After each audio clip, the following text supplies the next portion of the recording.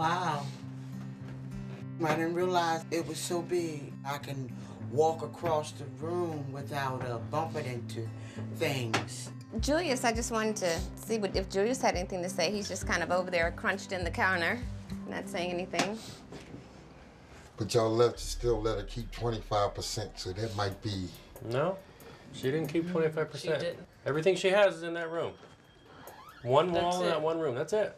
We And emptied the stuff that whole house. And that she can actually use. Julius, you have to see this as success. If you don't see this as success, then there's a big issue with you. Kind of infuriates me to hear you talking badly about her. I don't think you realize what she went through. Julius just really pissed me off. This is the final walkthrough. We're celebrating how much she was able to do, which is a miracle, more than I've seen a hoarder do in years, and he's complaining. What are we missing here?